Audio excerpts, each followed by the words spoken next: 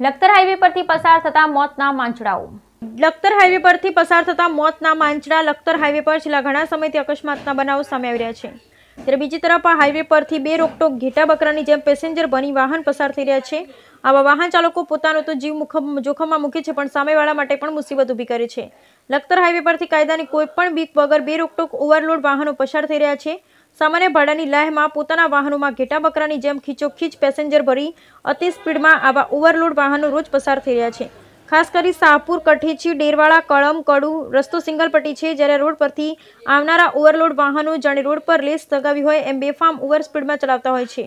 જ્યારે ઓવરટેક કરે છે ત્યારે તે સામેથી આવી રહેલા બાઇક ચાલકો તથા રાહદારીઓ માટે જીવના જોખમરૂપ આ વાહનો સાબિત થઈ રહ્યા છે. જે આવનારા સમયમાં કોઈ મોટા અકસ્માતનું કારણ બનશે, એમાં શંકાને કોઈ સ્થાન નથી. ઉલ્લેખનીય છે કે લખતર હાઈવે પરથી ઓવરલોડ વાહનો સવારે સાત વાગ્યાની આસપાસ પસાર થાય છે, જે તમામ વાહનો બપોરે બાર વાગ્યાની આસપાસ પરત ફરે છે.